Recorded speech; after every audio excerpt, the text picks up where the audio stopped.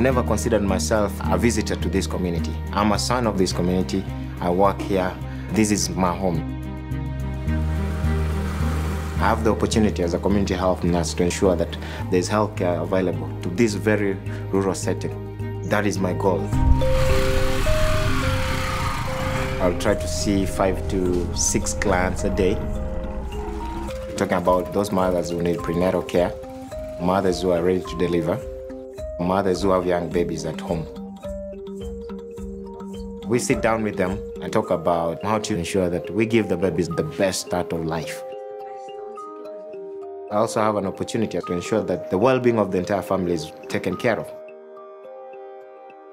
We use Skyscape to diagnose and prevent any complications from setting in.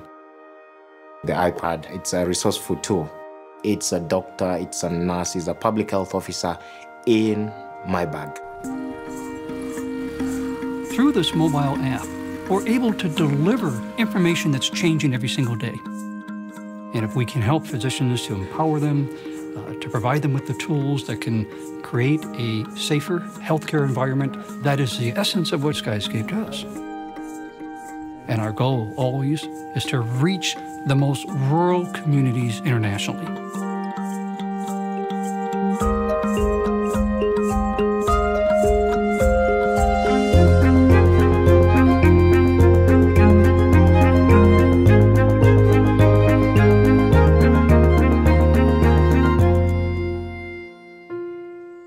The good way to describe rowing is when you see a duck on a Sunday morning, he's just floating along, looking so cute. But underneath the water, his legs are flapping 50,000 beats per minute. It's crazy, it's not pretty, and that's what I love about it. It's not like any other sport. I am a Paralympic bronze medalist in rowing. My first pair of legs had limitations to them. The feet would not move, so when I got on the erg and stretched my legs out, they would just be sticking straight up. So with this foot, I can connect with it through the Galileo app, and the foot can move up and down to whatever angle it needs to be. Before, if I wanted any changes, I would have to go into my prosthetist office to change the alignment in my foot, and you had to do it on their time. So this app has really allowed me to live my life instead of revolve my life around my prosthetics. Really hard for girls to be growing up and not being able to wear like high heel shoes because you're limited by your prosthetics. And these feet and my app allowed me to do that. And it's something just small as that, like, changed my life completely.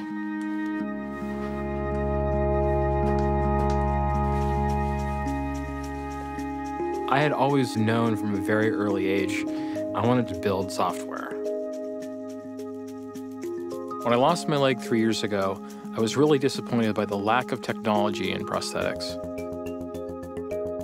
My first reaction was this is something that I would really love to build an app for. The first time I saw live streaming data coming from my prosthesis, it sent a shiver down my spine. I'm like, this is where this technology should be. I can now control a part of my body using the iPhone. And I think that is going to become the standard as this level of care reaches more people.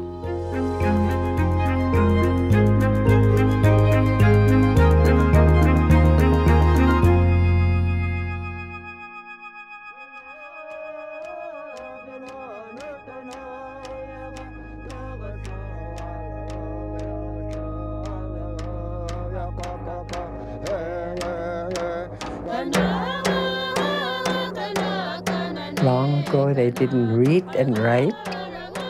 They didn't have a pencil and paper to tell a story, so they used to tell stories through their drum dancing.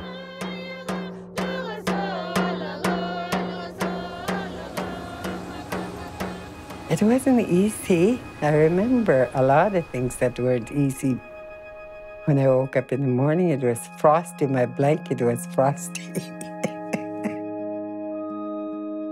Today, a lot of young people, they lost tradition and culture, language. That's why I'm still fighting for my language to stay alive. There are many, many American Indian languages that are on their last legs, and they will be gone forever from this earth unless something is done.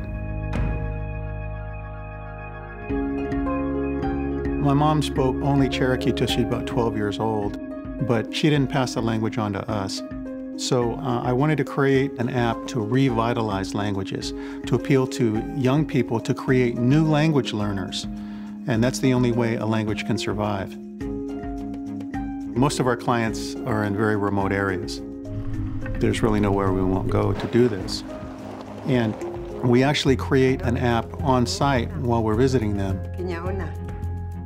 So these apps have allowed us to revitalize small languages. And it's a way to put the language back into the home where it belongs. How cute.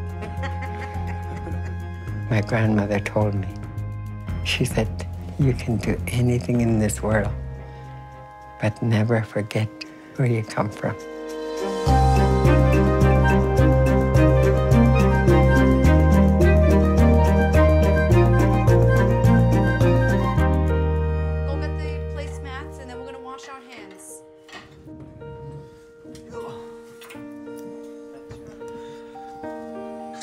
Salute. Okay. Mm. Salute. Good job. Enrique is 10 years old now. He had been nonverbal his entire life. And then we came across Protocol on the iPad. And on the very first day, he says, Hi, Mom, I love you. That was the beginning of my son speaking to me. I love you. I love you. And now, after nine years, I know who my son is. I found out he's funny. I'm so cool, don't you think? He is a typical child now. I think it's very gratifying to be able to make the tools that really help people like Enrique and his family. It's really nice to see how having an app that allows you to communicate can really open up the world in so many ways. My name is Enrique Mendez. In a way, it's, it's almost like magic, what's happening. Can I give you a hug? I'm pretty happy that I found something that can actually have a really direct impact on people. I need help. You need help. I'll help you. Enrique's taught me that given the opportunity, anybody could learn to do anything.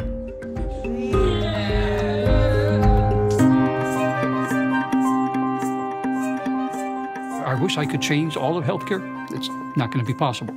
Can we move the needle in one specific area? And we are. I don't have a background in programming. I'm just a guy who saw a problem that needed to be solved. I wanted to make my dent in the universe. I wanted to change people's lives, including my own. It's just amazing to be able to do something you love, which is developing apps, and achieve something that is so meaningful to so many people in all parts of the world, in all walks of life, by doing what you love.